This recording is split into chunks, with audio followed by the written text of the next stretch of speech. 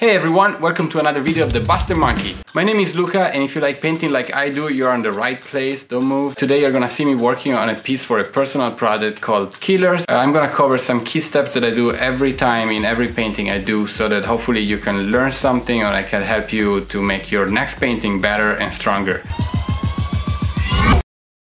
Okay, this is the painting that we're gonna paint today and as you can see we have two characters there. They are Simon and Maggie and we met them here in a previous painting that I did where they were actually going towards this forest. The forest is the same one that we find in this other painting with Dimitri and uh, of course different time of day, different color and stuff like that. But let's see how I did this. First of all, it sounds pretty obvious, but the sketch as a fundamental of your painting is pretty important and you actually need to get it right because from the sketch you can get a lot of information, but you also don't want to lock yourself into already too many things established from the sketch and uh, not have too much fun uh, designing things later on. This for me is enough as a sketch. Uh, each one of us need different kind of information in order to start a painting as soon as you can. And uh, by drawing a lot and painting a lot, you will understand slowly what you need to know early on or what you, what you can figure out later. The second thing I do is actually putting a color in there immediately. I don't wait uh, to fill up the canvas uh, painting element by element, but I just go there with something that it might change and it probably will change throughout the course of the painting, but I need to actually have a direction. And in this case, you will see that the direction starts cold and ends cold. So my, my mind was already there. Of course, I had to figure out how to design uh, every element, what kind of choices I wanted to do uh, later on straight in the painting, but that's actually what I like to do and uh, it's faster for me and this might be different for you. Maybe you need actually more information from the beginning in order to solve those problems or maybe you don't even need the sketch, I don't know. But uh, as you can see, I'm dividing everything in layers. Everything needs to be clean. I try to pay attention to things like uh, silhouette, tangents, the composition overall needs to carry your attention to those characters. At the same time, the, the environment needs to be interesting enough because this is mostly like uh, an introduction to the place more than an introduction to the characters. Of course, I try to stay organized with the layers. Uh, that's very important, especially in this phase. Even if after a certain point everything like collapses and uh, it's it's completely gone in terms of organization, but that doesn't matter because it's a personal painting. As you can see, I started with a big branch to big tree actually to render that first because I knew that that was actually close to the characters and that was probably one of the hero trees that the eye would look at immediately.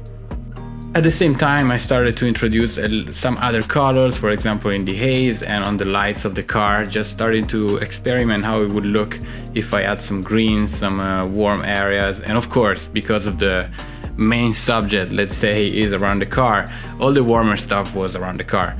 And uh, so the, the second thing that I can say is, of course, starting with one color that represents the mood of your painting, the feeling that you want to give, uh, mystery, discovery, whatever it is, uh, uh action or fear or uh, whatever you want to say. I would say just put it there as soon as you can and then you work around it. At least that works really well for me.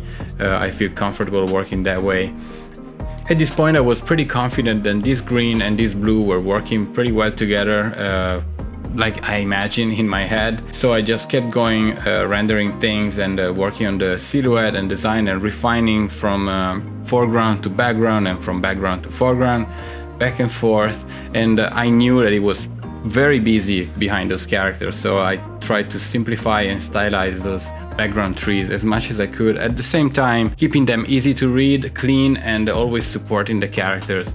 At this stage I'm pretty comfortable knowing where I'm going with this painting and I keep the characters and the car uh, for last because I always, this is another advice, I always paint the environment first and uh, the characters or whatever is small in that environment later just because I know that for me it's easier to think what could affect them in terms of lighting, uh, shadow, tones, when I already have established an environment around them. Also, don't be afraid of experiment, do mistakes and try new things because throughout the, the, painting uh, being a process, uh, it, it might not come out 100% as you thought and your goal is to make it even better than how it is in your mind, of course, to solve problems, take your time and understand why it's not working or how you can make it better. Right now, I'm working on creating depth into the painting. That's super important to create mood and don't forget this, don't forget to add depth into your painting. Doesn't matter your style, doesn't matter the subject.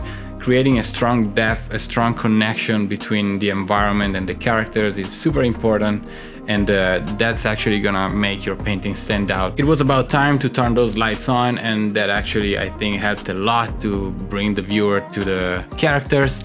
Of course the characters are not done yet, I'm still fixing stuff, I'm still uh, rendering the car, but when I turned on the light I was like okay what do I need to see in the car because a lot of details are gonna be hidden. And this brings me to the next point which is paint only what you see and what you need. Ask yourself if you need that detail in there, if you need that brush stroke in order to sell the environment or the characters.